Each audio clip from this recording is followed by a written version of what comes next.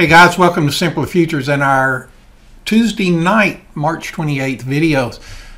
Taking a look at these markets right now and the markets that we're looking at, it's the euro. Now, we are beginning to see some weakness in the dollar.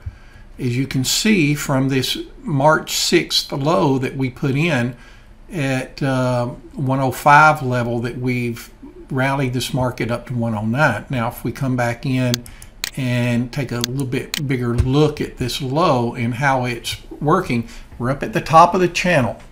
Now we're beginning to see some momentum change off of the squeeze here and hadn't got a MACD cross yet, but uh, I'm looking at these levels. Now this was a scalper alert that we had here, a scalper alert over here, down at this level, this level. We don't have one up in here. If we get one and then get this rollover off of the squeeze, it may give us an opportunity to pick up a move back to the 100 period EMA off of the euro.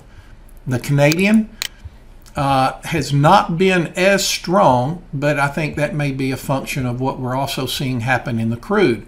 We're seeing a little bit of a move here. We saw a momentum shift uh, but we we're going to have to take out uh, to really get people excited about this off of the Canadian. We're going to have to get the uh, um, above 75.50 level to probably attract the the bulk of the buyers in. Now take a look at the pound.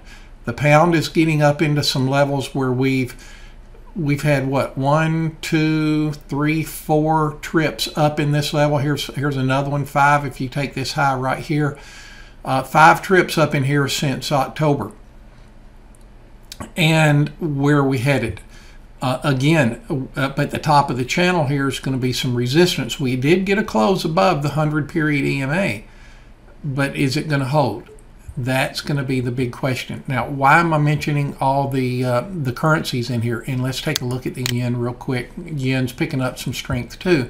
One reason is because we've got a crop report coming out, prospective planting report in the grain markets. Corn, which is down at a low, I still think that we may be testing back down at these levels somewhere in the uh, below 360 before planting season's over with. In the soybean market, I still think that we're probably maybe test 940.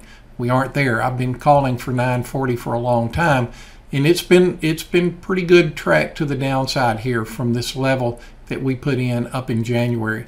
So uh, just been selling off. Hard trading because of the, the choppiness of the market, but still longer term, I still think we've got another 30 cents to go on the downside here. And the currencies will affect that uh, weaker dollar will attract some buyers coming in because they're able to buy more grain with a uh, with a weak dollar. So watch it close. Friday we've got a prospective planning report at 11 o'clock Central Time. Don't miss it if you're a grain trader. If you aren't a grain trader, you ought to watch it because it's going to probably be some pretty good fireworks. Big moves in it. How long it lasts, I don't know. But uh, just giving you a heads up on what we've got coming down the pike. Guys, good trading. Make sure you're using your stops. Trade smart. Trade with a plan. Trade with a system. See you later.